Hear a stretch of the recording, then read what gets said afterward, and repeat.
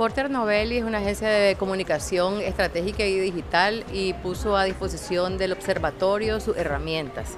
Una de estas herramientas fue una encuesta digital que eh, tiramos acá en Managua y contestaron eh, eh, más de 1.600 mujeres en edades de los 18 hasta los 69 años.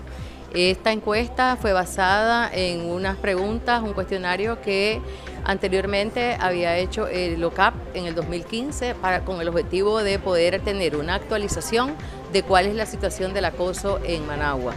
Eh, por lo tanto, eh, esta respuesta de las mujeres apuntan de que hay por lo menos un 83% de mujeres que manifiestan que han sido acosadas de diferentes maneras eh, mientras están en los espacios públicos, eh, siendo principalmente los silbidos eh, y las palabras una de las más frecuentes.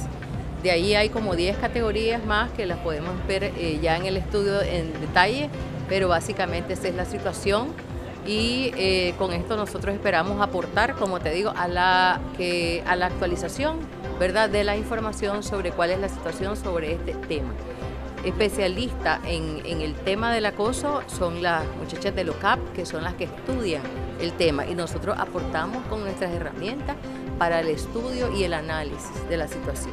El acoso callejero es, eh, son todas aquellas expresiones que se dan en el espacio público que tienen una connotación sexual que es explícita o implícita, es por parte de un desconocido y eh, la persona que lo recibe le, le genera malestar.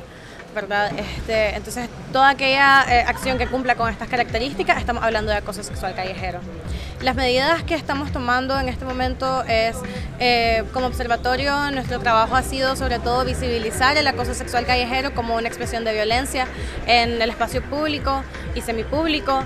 Y en ese sentido eh, hemos trabajado muchísimo en la educación, generando espacios de conversación, talleres y demás para mujeres, para que podamos conversar. Actualmente estamos trabajando también eh, talleres de capacitación para hombres, en el que esperamos entonces que con estos talleres podamos generar mucha, mucho más cuestionamiento sobre estas expresiones de violencia que vivimos las mujeres en los diferentes espacios. Nosotros tenemos una alianza con AmCham y por medio de AmCham hemos llegado a sus organizaciones socias, en este caso Ultranic y Cargill, que han sido, digamos, las, eh, las primeras empresas que se han apuntado a estos talleres de capacitación. Eh, pensamos que esto es parte de la responsabilidad que compartimos todas y todos para poder erradicar las expresiones de violencia que vivimos las mujeres, en este caso específico el acoso sexual callejero.